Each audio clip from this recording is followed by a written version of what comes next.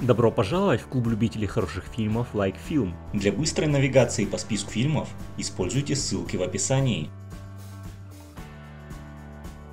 Агент Джонни Инглиш. Перезагрузка. Действие фильма разворачивается через 8 лет после событий предыдущего фильма, и с тех пор карьера сэра Джонни Инглиша ухудшается. За 5 лет до начала фильма его направили с заданием в Мозамбик, но миссия прошла ужасно плохо. С тех пор он живет в пещере в горах Тибета – прячась от всех из-за стыда, сожалений и обвинений в провале миссии. Фильм начинается, когда герой находится на крайне низком моральном уровне, пока ему не дают еще один шанс. Британская разведка МИ-7 снова нуждается в нем, и ей надо вернуть агента, чтобы тот сорвал заговор группы киллеров, планирующих убить китайского премьер-министра.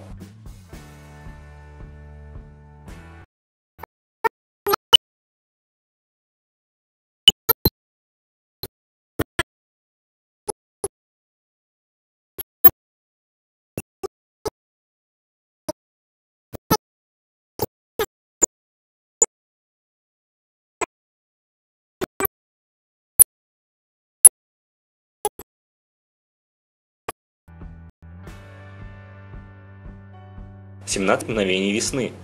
Время и место действия – Германия, канун победы в Великой Отечественной войне. Советский разведчик полковник Исаев, он же штандартенфюрер СС Штирлиц, исполняет последнее задание Центра, диктуемое ходом военных действий и политическими интригами верхов противоборствующих сторон. Шпионский мост. Действие фильма происходит на фоне серии реальных исторических событий – и рассказывает о бруклинском адвокате Джеймсе Доноване, который оказывается в эпицентре холодной войны, когда ЦРУ отправляет его на практически невозможное задание – договориться об освобождении захваченного в СССР американского пилота самолета-разведчика Ю-2. Шпион Видивон. Многие сотрудники британской разведки догадывались, что в ее руководство давно засел крот, работающий на Россию, но те, кто отваживался об этом заявлять открыто, почему-то оказывались в отставке. Остальные предпочитали помалкивать. Но подтверждение существования русского агента пришло с совсем неожиданной стороны. Начинается тайное расследование, возглавляемое находящимся в отставке Джорджем Смайли. И никто, включая высшее руководство разведки, не должен догадаться, что на крота снова объявлена охота. Шпионские игры. Натан Мьюер – специальный агент ЦРУ, ветеран разведки – в свой последний рабочий день перед уходом на пенсию он узнает, что его протеже, талантливый оперативник Том Бишоп, находится в китайской тюрьме, и ему грозит смертная казнь. Профессионал экстра-класса Мьюиру потребовалось совсем немного времени, чтобы понять, что Бишопа отдадут на заклание властям Китая.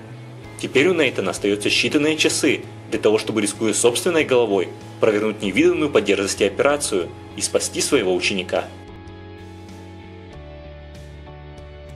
Шпионская игра. Мо Берг – симпатичный молодой человек, выпускник престижного университета и разносторонне развитый интеллектуал. Однако его жизнь круто меняется, когда наступает Вторая мировая война, и мир оказывается в шаге от глобальной катастрофы. Учитывая отличные способности и умение держать язык за зубами, разведывательное управление США решает воспользоваться его услугами в серьезном деле – из Германии требуется незаметно выкрасть Вернера Гейзенберга, гениального изобретателя ядерной бомбы. Еще несколько шагов, и фашистская Германия сумеет создать адское орудие, которое способно принести огромное количество разрушений и бед. Бергу подбирают единомышленников и забрасывают в тыл врага, чтобы тот сумел разрешить тяжелую задачу и помог спасти мир от довольно существенной ядерной угрозы. Но сделать это окажется совсем непросто. Ему придется бороться с коварным и непредсказуемым врагом, способным в любой момент сорвать операцию опасного лазутчика. Закон доблести. История о нелегких буднях элитной группы «Морские котики», которым поручено вытащить из пленов агентов ЦРУ. Выполняя задания, бойцы попутно уничтожают террористическую группу, в планы которой входила масштабная атака на США. Дети шпионов.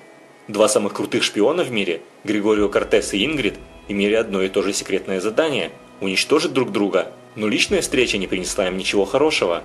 Они поженились и завязали со своим ремеслом. Через несколько лет исчезновение семерых спецагентов вынуждает их снова вернуться в игру. Причиной послужило то, что их бывшие коллеги, самые крутые профессионалы, начали исчезать один за другим. Кортесы вновь нужны агентству, которое хочет, чтобы они раскрыли секреты некого пальчика, формирующего армию из детей-роботов. Участь исчезновения постигает и супругов Кортесов, их похищает коварный злодей. Теперь судьба пленников зависит от того, смогут ли их дети правильно распорядиться всеми новейшими сверхсекретными шпионскими штучками из арсенала легендарных родителей. Пишите в комментариях, какие фильмы по вашему мнению стоит добавить и другие замечания и предложения.